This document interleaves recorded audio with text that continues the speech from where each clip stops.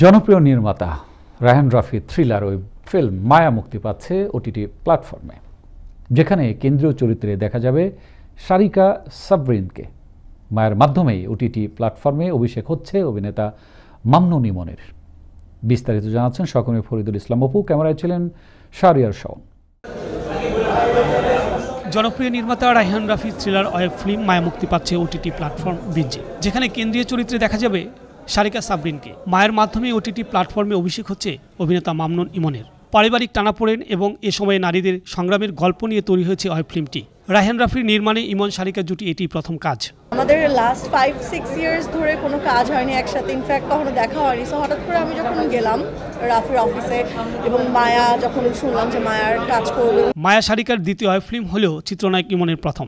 সিনেমাটিতে মায়া চরিত্রে সারিকা আর রাহাত চরিত্রে ইমন অভিনয় করেছেন। তবে ইমনের সঙ্গে অভিনয় এটি প্রথম নয় সারিকার। আগে বেশ কয়েকটি বিজ্ঞাপন চিত্র নাটকেও কাজ করেছেন তারা। ফাইনালি রাহেন রায় রাফি ভাইয়ের একটা চমক।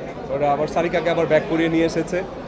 সো আই থিঙ্ক মানুষের ভালো লাগবে। আপনারা um, আমার মনে হয় যে পুরো গল্পটা দেখলে গল্পটা এমন একটা গল্প যেটা আপনারা আপনাদের অনেকের সাথে এটা রিলেট করতে পারবেন। সব মিলিয়ে টিজার প্রকাশের পর থেকেই দর্শকদের আগ্রহের তুঙ্গে রয়েছে রাফির অয় ফিল্মটি। নির্মাতা রাহিয়ান রাফি বলেন, মায়া অয় ফিল্মটিতে সমাজের একেবারেই রূঢ় বাস্তবতাকে তুলে ধরা হয়েছে। এটা আমার একদমই অন্যরকম একটা ছবি।